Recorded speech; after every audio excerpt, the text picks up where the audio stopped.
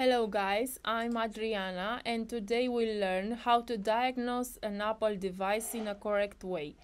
We are going to see a very common case from our workshop, so if you've got in your hands an iPhone or if you are a technician eager to learn and excel, stay until the end of this tutorial because we'll learn how to make a fast and accurate diagnosis.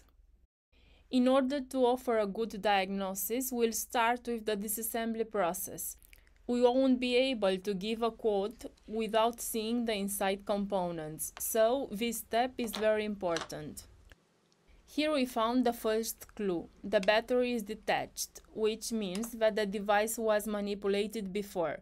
We are going to disconnect all the connectors and remove the motherboard. After removing the flex, we extract carefully the motherboard. In the next step, we are going to go to the microscope to look for signs of manipulation, corrosion, breakage and things of style.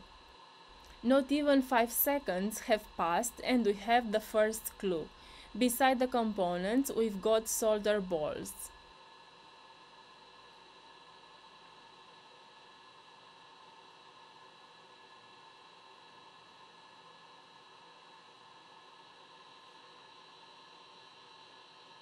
Here we've got another one.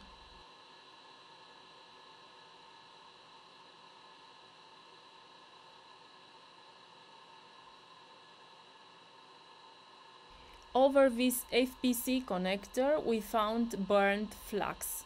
Let's continue our visual inspection of the motherboard to get a conclusion.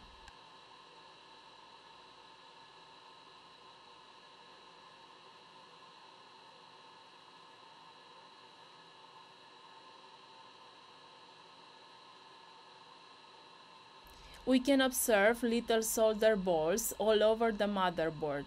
Honestly, what I'm seeing, I don't like it at all.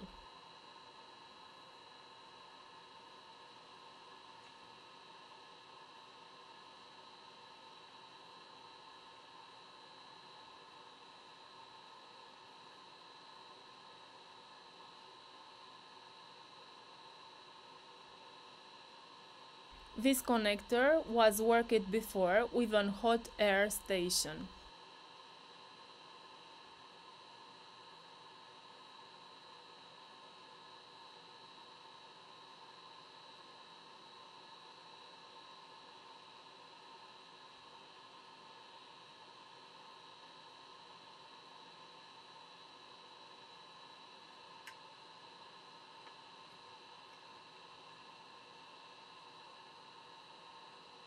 From the volume of flux that we found, it seems that they tried to separate the motherboards.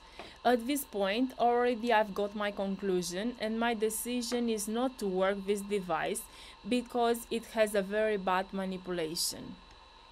We can repair one failure and it might came out another one and so on. But as we are here for learning new things and techniques, we'll continue our repair process and in this way you can take out your own conclusion.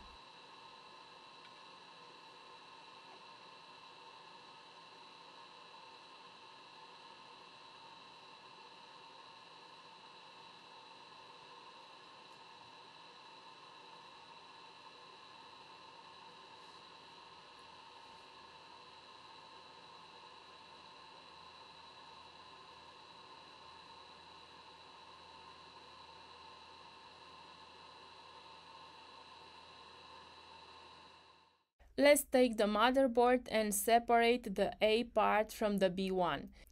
Remember that this model, the motherboard is made up of two parts.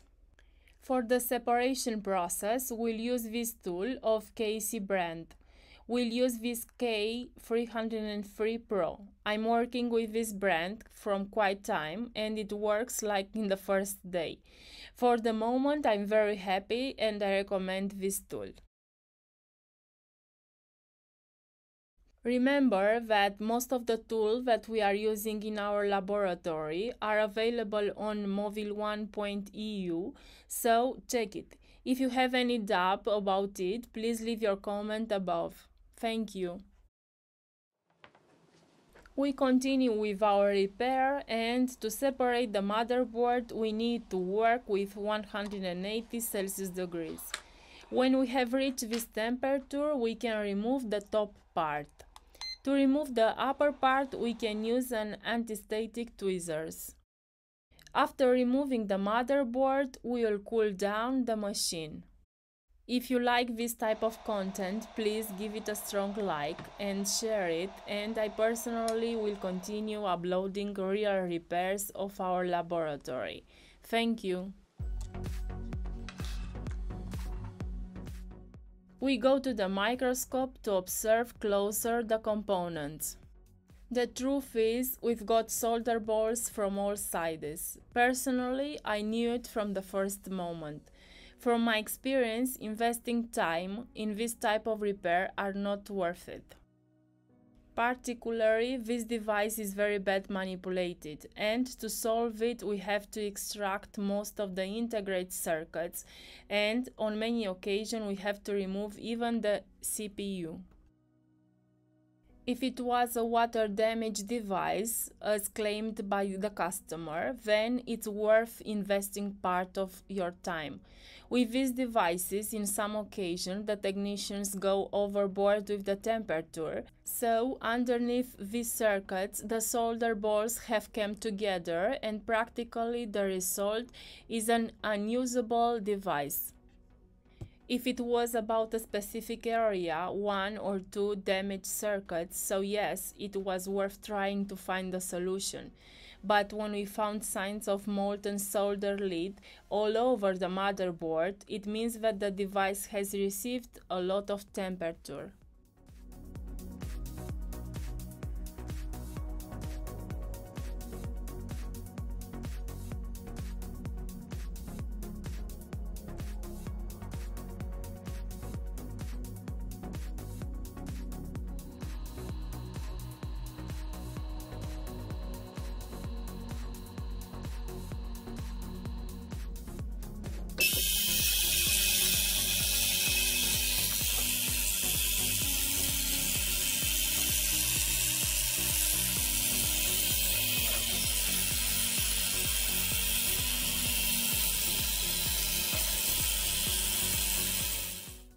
Let's clean the motherboard and try to remove some balls and in this way check the consumption with the help of a power laboratory source. At most, we can only remove the visible balls. Remember that below the integrate circuits is the same story, and without reballing these circuits we cannot do anything.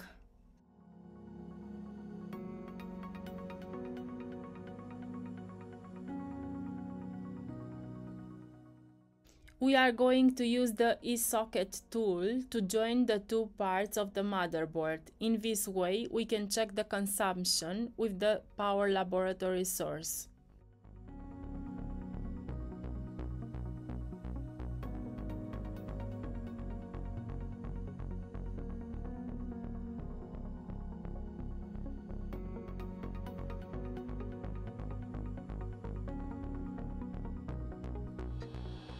Now, with the help of the power laboratory source, we turn on the motherboard.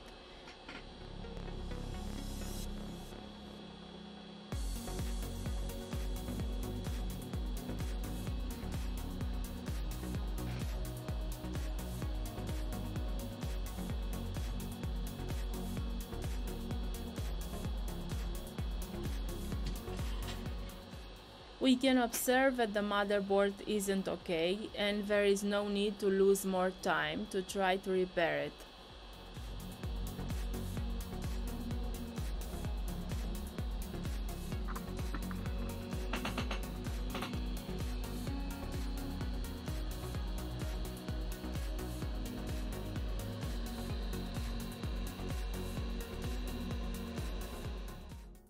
I'll take advantage of this tutorial to show you the steps to follow to close this motherboard.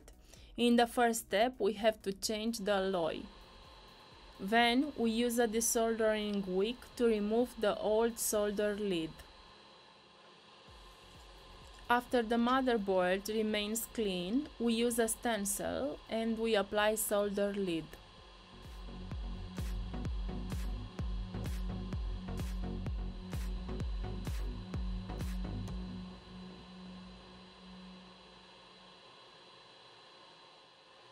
We remove the stencil and we place the motherboard on the top of the heating machine.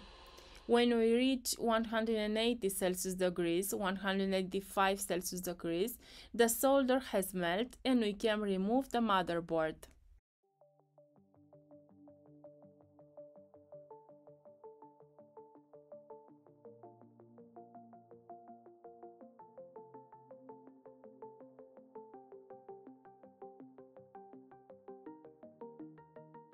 To join the two parts of the motherboard, I like to work with this tool. With 220 Celsius degrees, we'll obtain a good result.